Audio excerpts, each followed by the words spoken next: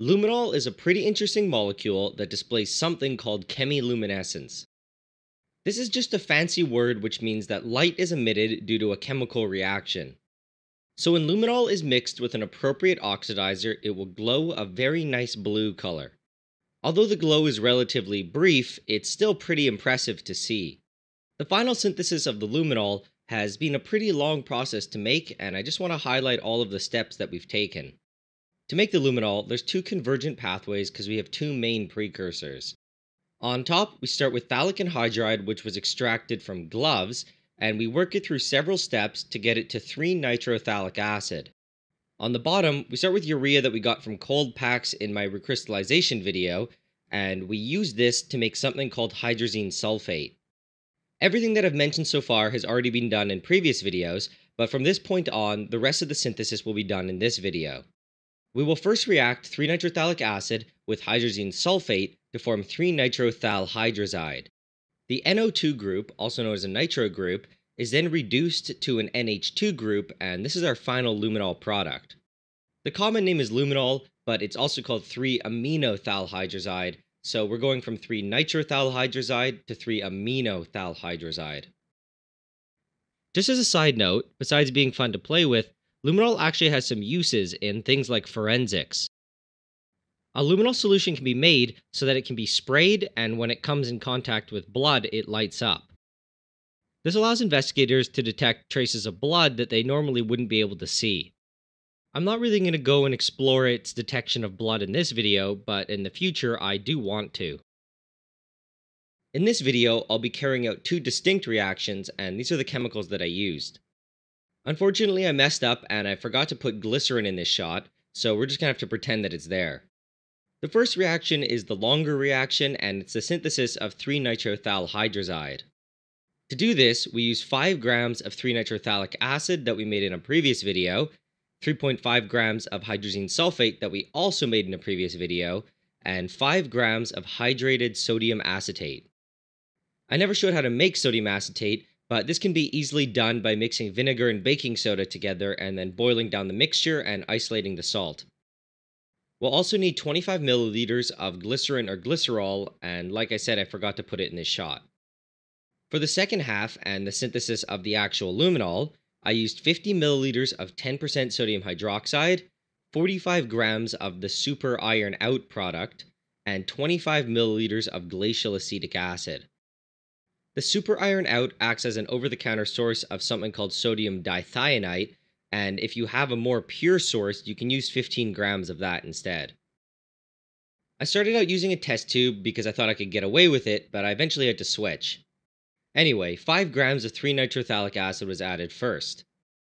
Then on top of this, I pour in 3.5 grams of hydrazine sulfate. I'm not sure why I added it in three separate portions, I think I was afraid of missing and spilling it over the edge of the test tube. Then on top of this, I add 5 grams of sodium acetate trihydrate. The order of addition of these powders really doesn't matter. To all these powders, I then poured in 20 milliliters of distilled water. It's important to use distilled water and not tap water. I turned the test tube on the side, and using a metal spatula, I tried to mix it around. A lot of the stuff in there isn't going to be very water soluble, so it's going to be a mixture and a suspension, and not everything will dissolve. Now that I found an excuse to use my heat gun that I bought, I started heating the test tube. The heat gun is pretty much just an industrial hair dryer, and it allows us to heat the test tube without using any flame. As I heated it, the contents started to dissolve, but I got more and more paranoid that the solution would bump, boil, and shoot my contents out of the test tube. So I decided to abandon the dream of using a test tube and a heat gun, and I opted to transfer it to a beaker and heat it just using a hot plate. In retrospect, that's a way better idea, and I'm not even sure why I started with the test tube. Some people might mention that I could use boiling stones in the test tube, and that is true, but I don't have any, so I set up a small beaker and I transferred the contents of the test tube to it. Of course, I had to wash the test tube a little bit with some water to make sure that nothing was left behind. I centered the beaker on the hot plate and removed the clamp, and now we can actually get started. With strong stirring, I started heating the mixture. As it heated up, it slowly became clearer and clearer as things started to dissolve. When the solution reached boiling, it was semi clear, and it's time to add 25 milliliters of glycerol. Once the glycerol is added, a thermometer is put in place. We now need to heat the reaction to remove all of the water and all of the acetic acid that formed from sodium acetate. As we do this, the temperature should move slowly from 100 degrees to about 120 and then it should spike very quickly to about 200. It's very important to control the temperature because it can easily spike much higher than 200, and if we get it too hot, we'll degrade our product. Once the temperature rises to about 200 C, we want to maintain it between 200 and 220 C for 5 minutes. This is why this reaction must be done with a high boiling point solvent like glycerol, because we need to get such high temperatures. The reaction going on here is not too complicated. The hydrazine sulfate and sodium acetate react to form hydrazine acetate and sodium bisulfate. The formation of the hydrazine acetate allows us to heat the reaction and boil off the acetic acid and therefore create free base hydrazine. Going with this method where the free base hydrazine is produced in the reaction mixture is much safer because hydrazine is pretty toxic and dangerous. This way, we can still conduct a reaction that needs free base hydrazine, but we don't have to worry about handling it. I'm not going to go over the mechanism in crazy detail, but I still do want to cover the main steps. So before the reaction takes place, the first thing that happens is once we hit around 120 C, the acetic acid starts to boil off and our free base hydrazine is liberated. One of the nitrogens of the hydrazine then attacks one of the carbons that is double bonded to an oxygen in the 3-nitrophthalic acid. The OH group that's attached to the same carbon ends up being protonated and it's kicked off as water. The other nitrogen in the hydrazine then attacks the other carbonyl group and the same thing happens, the OH is kicked off as water. Once this has all taken place, we're left with our 3-nitrophthalhydrazide and two water molecules. As we continue with the reaction, the color gets stronger and stronger and we eventually get a very dark red color. For me, I also got some splashing that occurred, but that's okay. I should note that the colors here aren't extremely accurate because the white balance of my camera is a little bit off. After heating it for 5 minutes, we're left with a pretty dark red colored solution. The hot plate was turned off and it was allowed to cool to about 100 C. To the mixture was then added 80 milliliters of water. Our product isn't soluble in water, and what we're doing here is we're just trying to wash away the sodium sulfate and the glycerin. The thermometer is also removed, and I use a wash bottle to clean it a bit. To separate off the product, it's then vacuum filtered. It could be gravity filtered, but vacuum filtration is just way faster.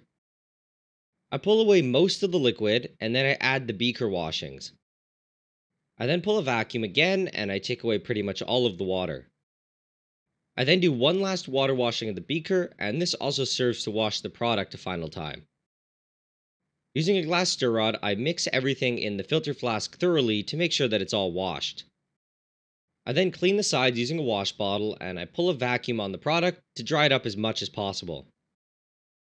After a few minutes, it's not completely dry, but we're left with a semi-dry paste. I transfer the paste directly to a beaker, and now we can start on the second reaction. Our goal in this portion of the reaction is to reduce that NO2 nitro group to an amine, which is NH2. To do this, there's several ways, but the most popular way is to use something called sodium dithionite. The first thing we need to do is dissolve our 3-nitrophthalhydrazide in water, and to do this, we must have a strongly basic solution. I made about 50 milliliters of 10% sodium hydroxide solution. The volume doesn't have to be super exact, so you can probably make this just by throwing in 5 grams of sodium hydroxide into about 45 mils of water. Once it's made and the solution is clear, we can add it to our 3-nitrophthalhydrazide and you can see the solution immediately turns red and then nearly black. The solution is then stirred until everything has fully dissolved. The next step is to add a reducing agent, sodium dithionite. Our over-the-counter source for this is super iron out, but it's not a pure source. Sodium dithionite is also known as sodium hydrosulfite, and if we look at the MSDS for the super iron out, we see that it represents about 15 to 40% of the powder. Instead of doing experiments to find out how much sodium dithionite's in there, we can do some math to find out the minimum amount that must be present. If we assume everything else is the maximum amount advertised, we can subtract it all from 100 and find out the minimal amount of sodium dithionite that we could have is 33.5%. So if our powder is only 33.5% sodium dithionite, we just have to use three times as much. This is what we do, and I measured out 45 grams of the super iron out, and I start adding it. The moment we add some, the color will start to change, and it will eventually go from a very dark red to a yellow. It also becomes clearly opaque as there is some sort of precipitate falling out of solution, and this is actually our luminol product. To push the reaction to completion, we heat it to boiling for about 4 to 5 minutes.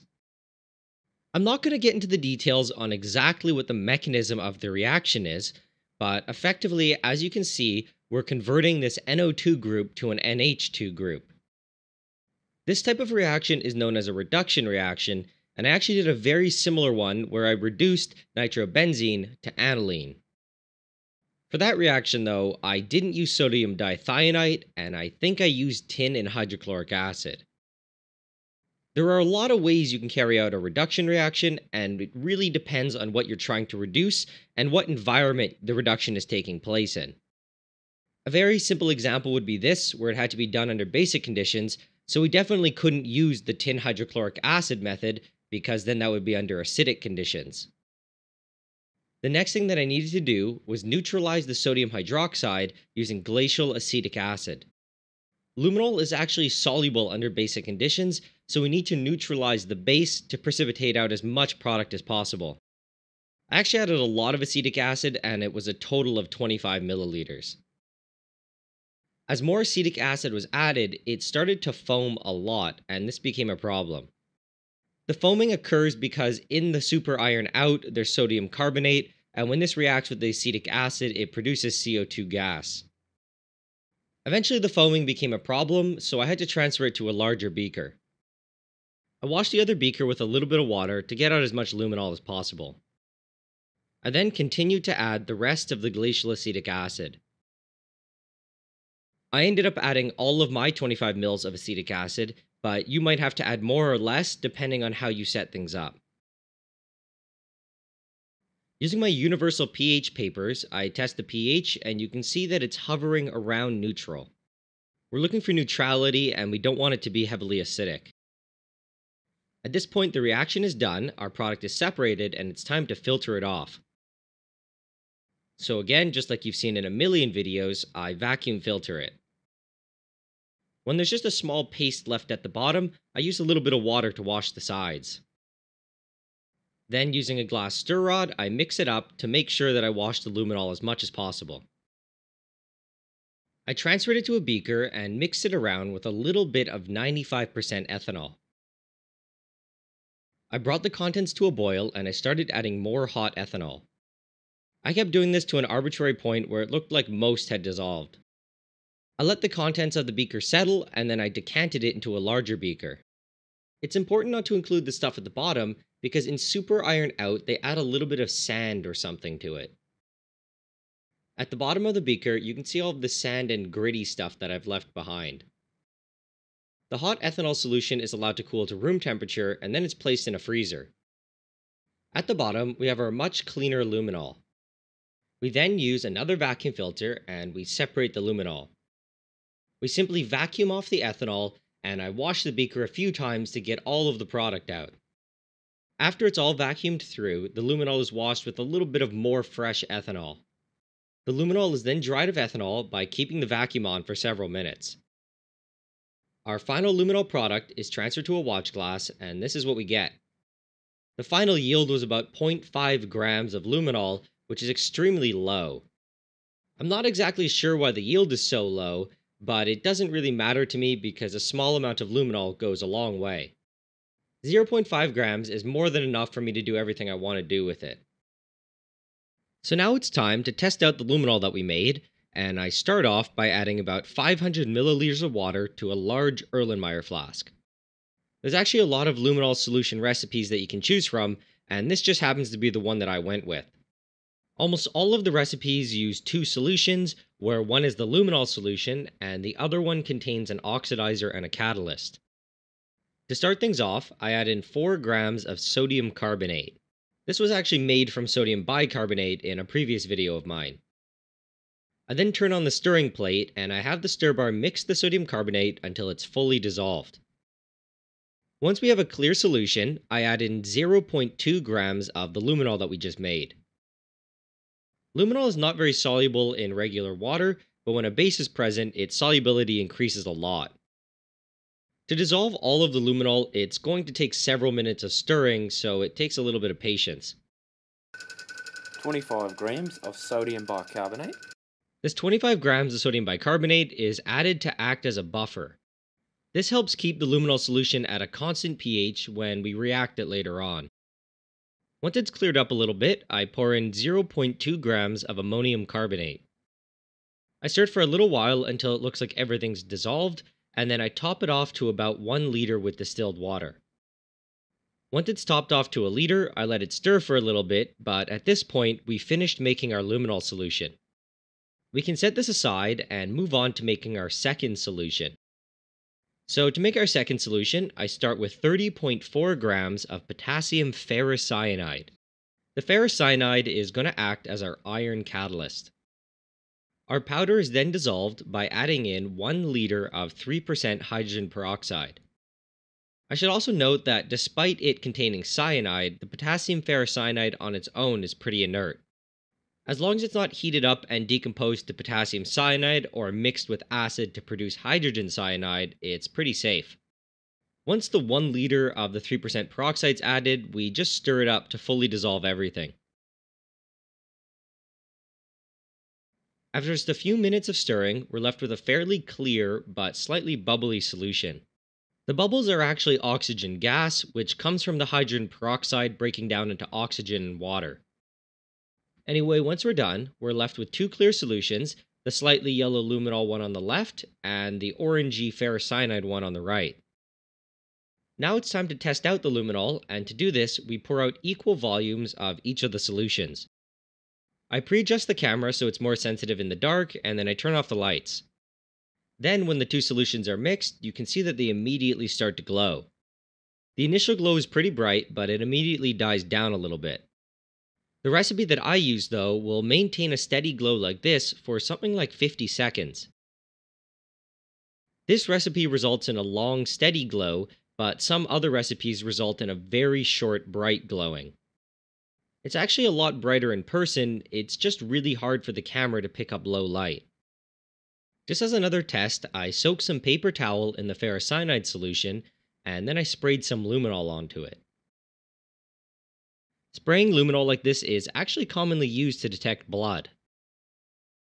To detect blood, however, our luminol solution would have to be a little bit different and include the oxidizer in it.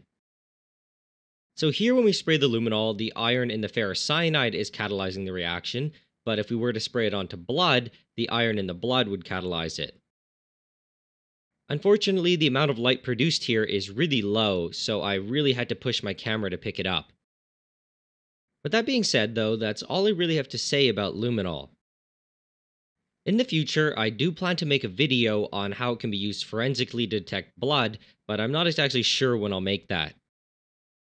The next video that I'm going to post after this is making benzaldehyde from toluene using chromyl chloride. In the meantime, before I release my next video, you can check out my new channel that I made, which is very creatively called Nile Blue. This channel is going to be more focused on general science, so you'll see videos here like the one I posted on why water puts out fire. Right now I only have one video, and it explores the pseudoscience of alkaline water and an alkaline diet. I'll provide a link below in the description if you want to check it out. Anyway, that's all I really have to say for now, and I'll see you guys on the next one.